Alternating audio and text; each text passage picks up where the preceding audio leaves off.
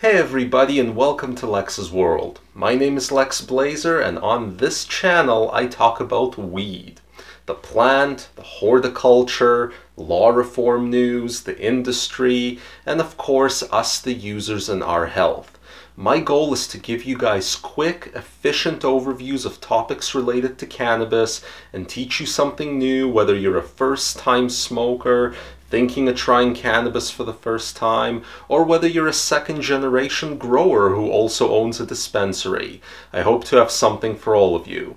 On that note, please subscribe and check out the videos tab to see my extensive video library. Thanks a lot.